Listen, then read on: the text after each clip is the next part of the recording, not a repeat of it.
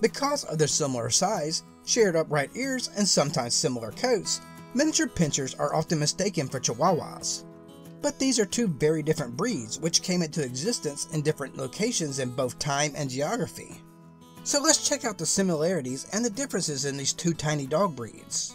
Which do you prefer? Let us know in the comments below. You're watching. While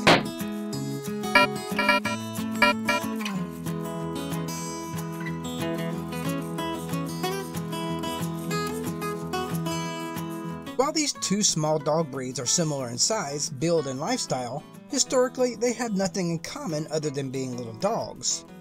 The Chihuahua is an ancient breed. The most common theory is that Chihuahuas are descended from the Techichi, a companion dog favored by the Toltec civilization in Mexico, and Chihuahua-like dogs have existed in Mexico at least 1400 years before European dogs ever arrived.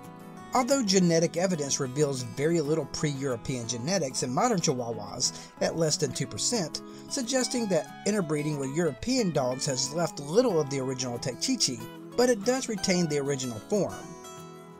Even with the ancient lineage, the AKC didn't register the Chihuahua until 1904.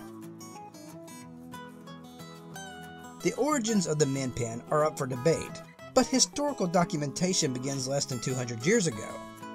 The miniature pinscher was developed in Germany for rat control. Contrary to popular belief, the Min Pin is not a miniature Doberman. In fact, the miniature pinscher is a much older breed and shares no lineage with the much larger Doberman. The AKC recognized the Min Pin in 1929. Both breeds are part of the AKC's toy group.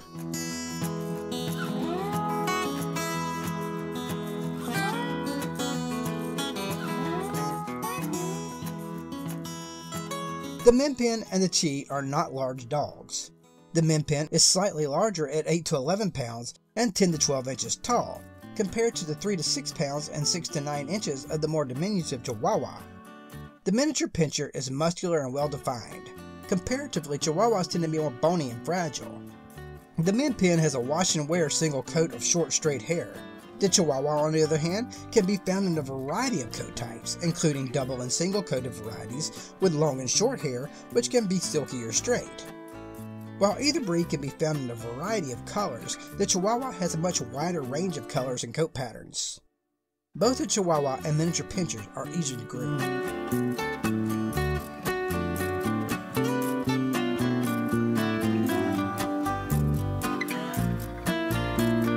Two breeds may be small in size, but neither is small in personality. The Chihuahua is often described as having a terrier-like personality. It's alert and suspicious of strangers and makes an excellent small watchdog. The Chi is a sensitive and affectionate companion dog that often bonds with one person, but if introduced correctly, it is able to make new friends, but expect them to be reserved at first.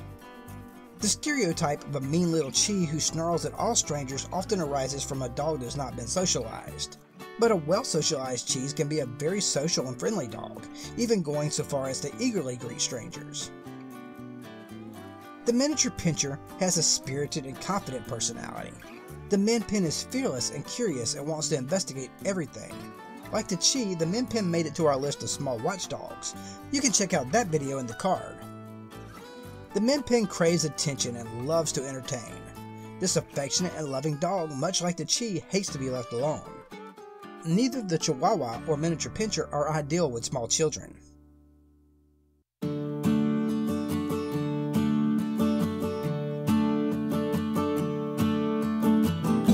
Due to its strong family pack mentality, training a Chihuahua can be enjoyable. They are successful in several different dog sports such as agility and obedience. The Chihuahua packs a good amount of smarts in its small head, but they also have a tendency to ignore commands, so you've got to be consistent and firm with them.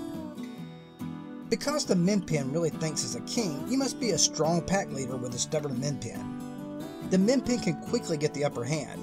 To successfully train a Min Pin, you must establish firm leadership. They can learn, it just takes a firm, consistent trainer.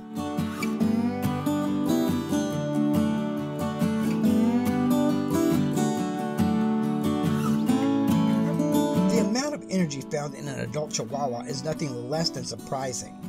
It's willing to play as long as you are. Chihuahuas enjoy walks, supervised romps around the yard, and retrieving toys. and a good game of fetch in a hallway is always a good choice. Miniature pinschers are forever on the move. This is good if you like activity and entertainment. This is bad if you already have a hectic household or like peace and quiet. This is among the most active of all breeds. Fortunately, most min pins can burn off much of their energy playing indoors and do not require wide open spaces to exercise. As much as they enjoy playing outdoors, neither breed should live outside. They aren't safe from hawks, coyotes, or other larger dogs. They're bred as companions, and the best place for a companion is with you.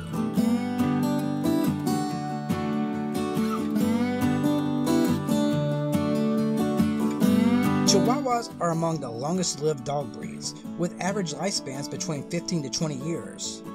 And while generally healthy, the Chi does have a few common health concerns to watch for. Those include collapsed trachea, heart murmurs, hydrocephalus, hypoglycemia, dislocated kneecaps, open fontanel, a condition where the soft spot in the skull remains into adulthood, pulmonic stenosis, and shivering. The lifespan of min pins is about average for a small dog breed at between 10 to 14 years.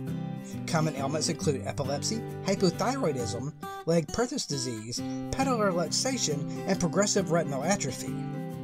So, which of these tiny dogs do you prefer? Who won? Let us know in the comments. Not that we're taking score. Hey, thanks for hanging with us. If you want more doggy videos, you can check out more here.